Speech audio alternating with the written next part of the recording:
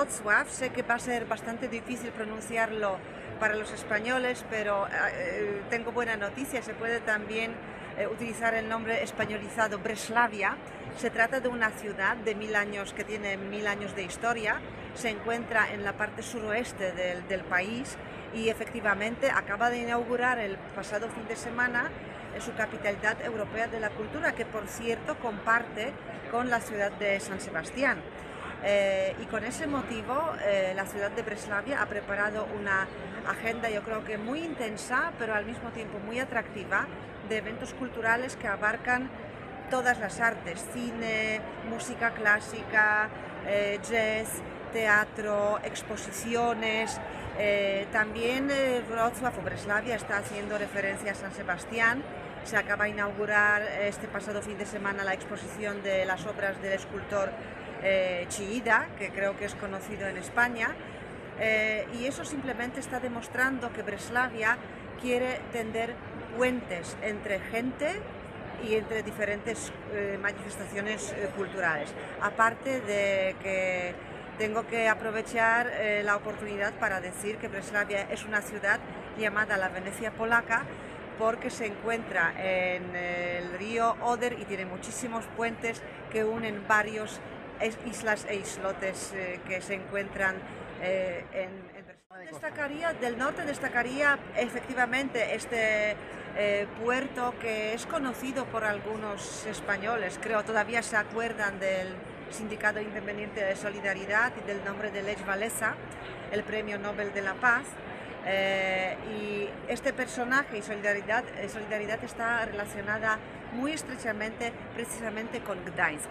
Pero Gdańsk no son solamente los famosos astilleros donde em, eh, empezaron estas huelgas de 1980, es una ciudad también con eh, una historia milenaria, con un casco antiguo precioso, donde podemos aprender gran parte de la historia, no solamente de Polonia, sino también eh, parte de la historia de Europa.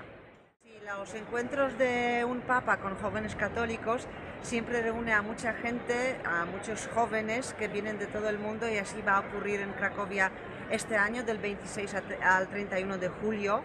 Eh, nos van a visitar bastantes peregrinos desde España, ya están registrados eh, casi 32.000 peregrinos, eh, casi 7.000 desde Portugal, también desde los países de América Latina sin obviamente mencionar otros países europeos y otras partes del mundo.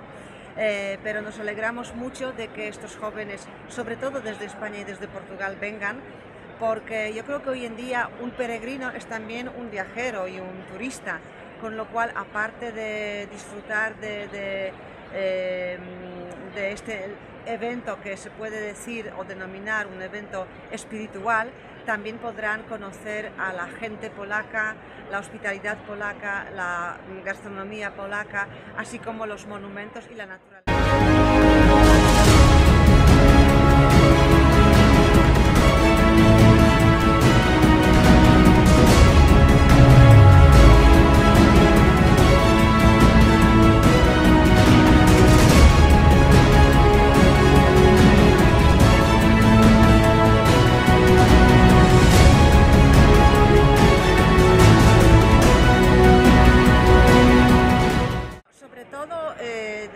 Ponemos a disposición del viajero español un amplio abanico de folletos en español, tanto electrónicos como en papel, donde pueden eh, elegir entre turismo cultural en las ciudades, eh, gastronomía, turismo activo, eh, turismo más tradicional recorriendo castillos y palacios de Polonia.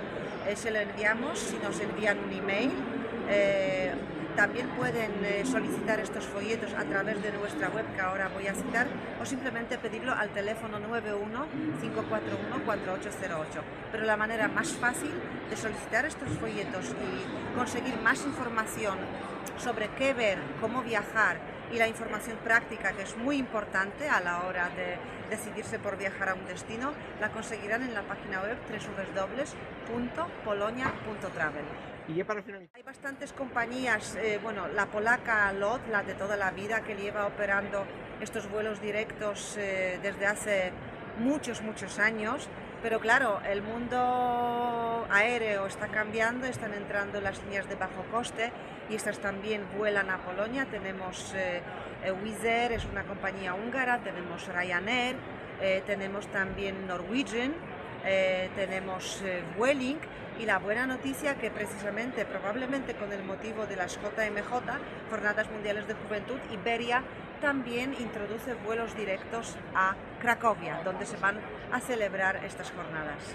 Y para los españoles que... sentir eh, como en su casa, eh, porque somos una gente muy hospitalaria, creo que abierta, al principio quizás no, pero luego sí que nos abrimos mucho.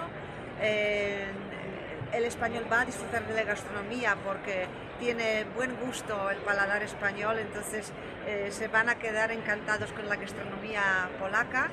Eh, y sobre todo iba a decir algo muy importante pero que se me escapó.